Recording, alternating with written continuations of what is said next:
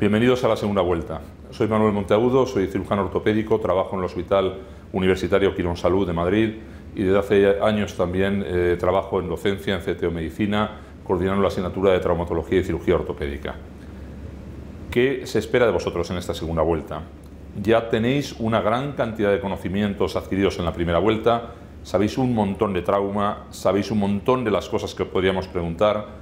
y hasta hace poco, hasta este año, el objetivo de las segundas vueltas era reafianzar conocimientos, apuntar a lo imprescindible, eh, saber sí o sí lo, más importante y ampliábamos conocimientos con cosas más improbables, haciendo preguntas, viendo en qué os podían pillar, en qué no os podían pillar, poniéndoos trampas para intentar saber hasta dónde llegaban vuestros conocimientos. Pero nos hemos dado cuenta que muchas veces tenéis unos conocimientos magníficos, habéis estudiado un montón, y cuando llega el momento de responder preguntas, que es para lo que estamos aquí, para acabar respondiendo muy bien preguntas de un examen dentro de unos meses, nos hemos dado cuenta que no siempre tenéis las habilidades necesarias y eso es un tema eh, que vamos a trabajar especialmente en esta segunda vuelta.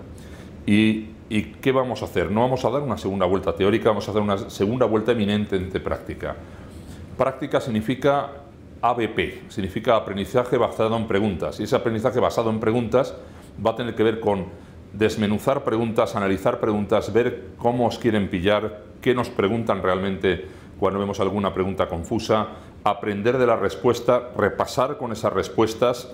y haremos cada pregunta comentada acompañada de un pequeño esquema de recordatorio para que refresquéis conocimientos. En esta segunda vuelta nos vamos a contar patologías completas, nos vamos a contar eh, listas de cosas ni diagnósticos diferenciales, los vais a tener que aplicar y los vais a tener que poner en marcha vosotros y saber hasta dónde llegan nuestros conocimientos. Esto también nos va a permitir saber si hay alguna laguna por cubrir o alguna cosa que creemos que en la primera vuelta se ha dado y que resulta que no os ha llegado bien para poder desde luego terminar de afianzarla en esta segunda vuelta. Pero va a ser sobre todo un aprendizaje práctico basado en preguntas.